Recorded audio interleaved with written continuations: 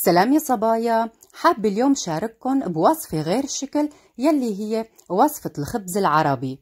بأيام الثمانينات والتسعينات ما كان يتواجد خبز العربي بألمانيا بالأسواق. فلهالسبب كنت بهيديك الزمان بشكل يومي أخبز خبز العربي مع الوالدة في البيت وبفرن العربي. وبعد فترة طويلة إجا عبالي إرجع أخبز خبز العربي بنفس الوصفة يلي أنا والوالدة كنا بهيديك الزمان نعتمد عليها. ومثل العادة مثل ما كنت معودة من زمان خبزت خبز العربي بفرن العربي. ولكن كان عندي فضول شوف شو هو الفرق لو الواحد نفس الوصفة بيخبز الخبزة على الطواية. لهالسبب عملت التست بهيدا الفيديو خبزت الوصفة هي ذاتها ونفسها مرة على الطواية ومرة مثل العادة بفرن العربي. وبآخر الفيديو رح أحكيكم إن شاء الله عن النتيجة وشو هو الفرق بالضبط. وعندي ملاحظة تانية بهيديك النهار كنت عاملة شاورما اللبنانية مع الخبز العربي. وإن شاء الله النشرة التانية حتحكي عن الشاورما اللبنانية على أصولها مية بالمية. حبيباتي إذا عجبتكم الوصفة مع طريقة التحضير ادعموا قناتي بلايك أو حتى بتعليق. قبل ما باشر بالتحضير بحب أعطي ملاحظة مهمة بالنسبة للخميرة. لحتى أحصل على نتيجة مضمونة الأفضل تكون الخميرة فريش ومش خميرة فورية يلي بتجي بشكل البودرة. وملاحظة مهمة إذا كانت الخميرة بالبراد بشيلها عدة ساعات من البراد لحتى تنزل درجة حرارة الخميرة على درجة حرارة الغرفة وبعد منها فيني بدون أي مشكلة تابع التحضير. أولا بدي أحضر الخميرة الفريش لحتى تفوخر وتعطي فعالية. حطيت بوعاء 100 ملي من المي الدافي مع معلقة كبيرة من السكر وبصير فرفة الخميرة الفريش مع المي والسكر. وبدوبن كتير منيح وبحطن بمكان دافي لغاية عشر دقايق.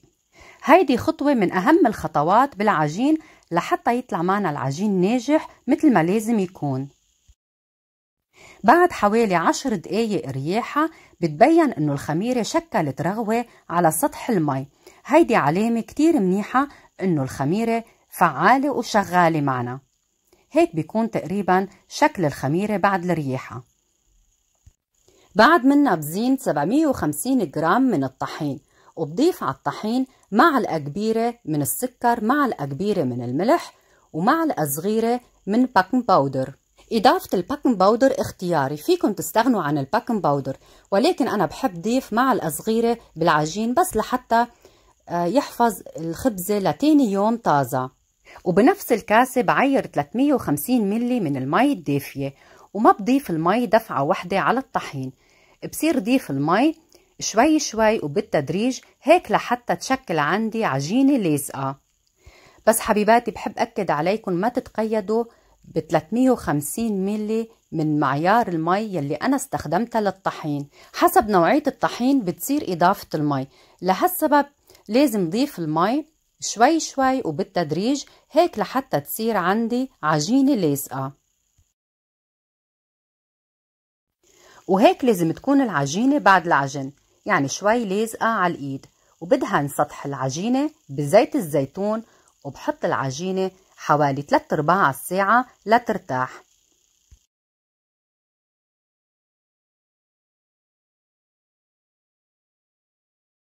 بعد رياحة 3 أرباع الساعة بمكان دافي ما شاء الله بتضاعف حجم العجين وبيعبي هواء هيك بيكون كتير رائع وإن شاء الله حتطلع العجينة ناجحة.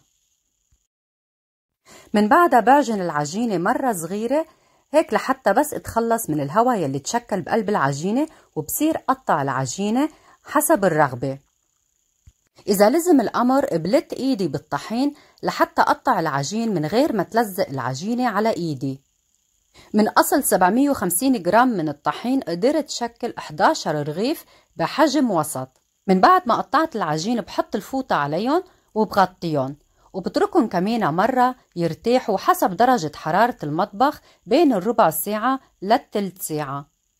بعد حوالي تلت ساعة رياحة ما شاء الله بتضاعف حجم العجين. والخطوة اللي بعدها بدي جهز العجينة لحتى أفردها ويطلع شكلها ظريف ومبروم. لازم حط قطعة العجين على الطحين وبهالأثناء لازم أضغط العجينة بشكل مبروم.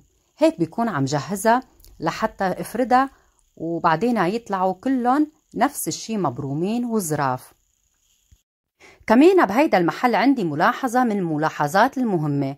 لحتى يطلع معنا خبز العربي ناجح لازم الخبزة تكون رقيقة. لهالسبب لازم أفرد العجين بشكل يكون رقيق. يعني بدي أحاول أفرد العجينة لتكون برقة المنقوشة وحتى كمان أرقق بشوي. على سبيل المثال إذا فردت العجين برقة عجينة البيتزا فأكيد حتكون النتيجة مختلفة وحتطلع الخبزة مخصة بخبز العربي. حبيت أرجيكم صورة عن قرب لتشوفوا أنه تقريبا كيف لازم يكون الرغيف رقيق. وهيك بفرد العجين بهيدي الرقة لحتى بعد الخبز يطلع معي خبز العربي إن شاء الله ناجح. وبعد هيدي المرحلة ضروري كتير غطي العجين بالفوطة هيك لحتى ما يتعرض للهواء وينشف العجين عندي. وبترك العجين يرتاح لآخر مرة لفترة ساعة بعد فترة ساعة رياحة بيرجع بتضاعف حجم العجين. بهيدا المحل عندي كمان ملاحظة. يعني مثل ما الرغيف محطوط على الفوطة الأسفل يلي لامس الفوطة رح سقط الرغيف نفس الشي بالطواية بحيث إنه الأسفل كمان يلمس الطواية. بداية بسخن الطواية على أعلى درجة. من بعد ما سقط أول رغيف بالطواية برجع بخفف النار ما بين درجة الحرارة المتوسطة وما بين العادي. بحط الرغيف بالطواية وبستنى لحظات لحتى الرغيف يصير نوعا ما متماسك. وبعد منها بصير قلب الرغيف بخلال ثواني وبستنى لتظهر البوالين على السطح. وأول ما تظهر البوالين على سطح العجينة بختار أكبر بالون معبى بخار بصير بهيدا الشكل بالمعلقة بضغط البالون بكل رياحة لحتى البخار يوزع بكل رغيف ويفتح الرغيف بكل رياحة. وأحيانا بيطلع بوالين بتسرب بخار. بصير بالمعلقة بسكر الفتحات من محل ما عم بيسرب البخار. وبنفس الوقت بحاول بالمعلقة اضغط البخار لحتى يوزع على كل رغيف. وطبعا بخلال ثواني عديدة بدي ضلني قلب بالرغيف مش بس لحتى ياخد لون الذهبي الحلو ولكن لحتى الحرارة تتوزع بشكل متساوي بقلب الرغيف ويفتح الرغيف بكل سهولة. بالنسبة للحرارة ما في مقارنة الخبز على الطواية وما بين الخبز بفرن العربي. يعني الخبز على الغاز بتكون الحرارة كتير ضعيفة للخبز العربي. لهالسبب بده الخبز العربي على الغاز خفية ولمسات معينة. ولكن الحرارة بفرن العربي بتكون كتير عالية وكتير مناسبة لخبز العربي بمجرد ما حط العجينة بالفرن على قوة الحرارة العجينة لوحدها بتفتح بدون أي مجهود أو أي لمسات تانية.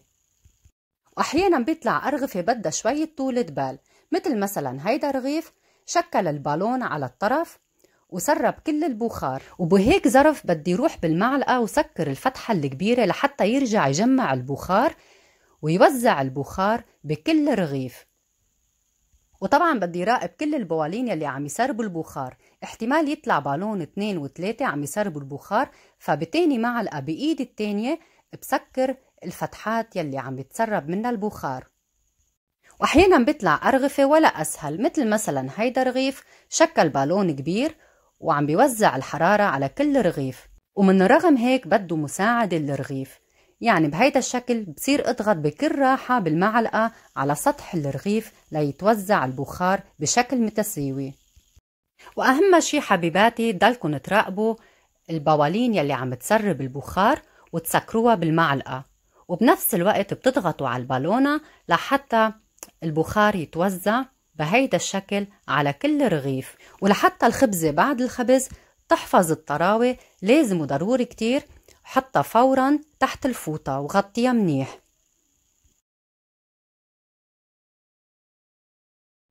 وبهيدا الشكل بخبز الخبز العربي بالفرن العربي. بحط أول شي الرغيف على سطح الفرن يعني تقريبا شي دقيقة لحتى يصير نوعا ما متماسك الرغيف. برجع بسقطه بقلب الفرن وبستنى لياخد لون الذهبي. وبس ياخد لون المطلوب حسب الاختيار. فيني اسحب الرغيف من الفرن وحطه تحت الفوطة وغطيه أو بقلب الرغيف على الجهة التانية لحتى ياخد لون. يعني بأثناء ما عم تصير العجينة على سطح الفرن بنفس اللحظة بياخد اللون الرغيف التاني داخل الفرن. يعني ما شاء الله الفرن بخبز العربي الحرارة بتكون كتير عالية وكتير مناسبة للخبز العربي. يعني بمجرد ما حط الرغيف بقلب الفرن بخلال ثواني وبدون مجهود بيفتح الرغيف. وبحب ضيف شغلة كمينة يعني الخبز العربي شبيه للخبز الفرنجي. يعني الخبزة ما طيبة بس بهيداك النهار هي وطازة. ولكن ست البيت عندها الاختيار تعمل كمية مثلا من الخبز العربي وتفرزهم بالفريزة. وعند الطلب بتشيل الخبز من الفريزة وبيكون كأنه طازة بنفس النهار. وبس للتسكير إضافة ال baking powder بالعجينة بتحفظ الخبزة لتاني يوم طازة. وصار لازم خبركن عن الفرق ما بين الخبزة يلي خبزتها بالفرن العربي وما بين الخبزة يلي خبزتها على الغاز وبالطواية. الخبزة يلي خبزتها بفرن العربي وحاليا موجودة على الصورة مواصفات الخبزة طرية ومطاطة ولكن ناشفة وملمسها خشن. وبس ياكل الواحد الخبزة يلي مخبوزة بفرن العربي بحس نفس المواصفات بحس بالتم إن الخبزة طرية ومطاطة ولكن ناشفة وملمسها خشن. عم بفتح الخبزة لحتى تشوفوا إنه حقيقة مطاطة وطرية ولكن ما بعرف إذا بتظهر عليكم ملمسها خشن وناشفة. يعني إذا فيني أعطي رأيي بالخبزة يلي انخبزت بفرن العربي النتيجة كلها على بعضها لا بأس.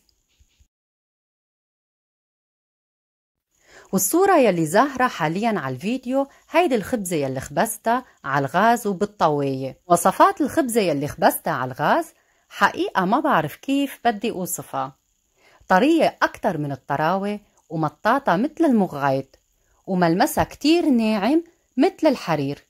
كل المواصفات يلي ذكرتها بتظهر عند الأكل بالتم يعني الواضح إنه الخبزة ناعمة مثل الحرير وطرية أكتر من الطراوة ومطاطة مثل المغايط. حقيقة لقمة ما بتتفوت وكتير لذيذة.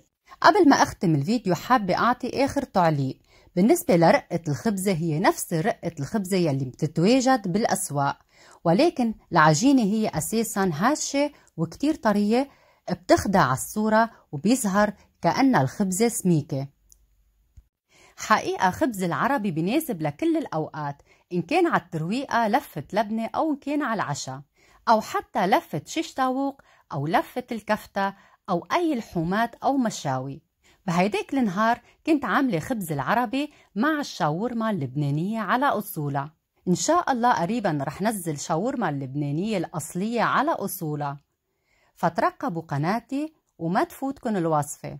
حبيباتي وصلنا لآخر التحضير. بتمنى هيدا الفيديو نال إعجابكم بتمنى لكم التوفيق والسلام عليكم ورحمة الله وبركاته مع وصفات أم علي.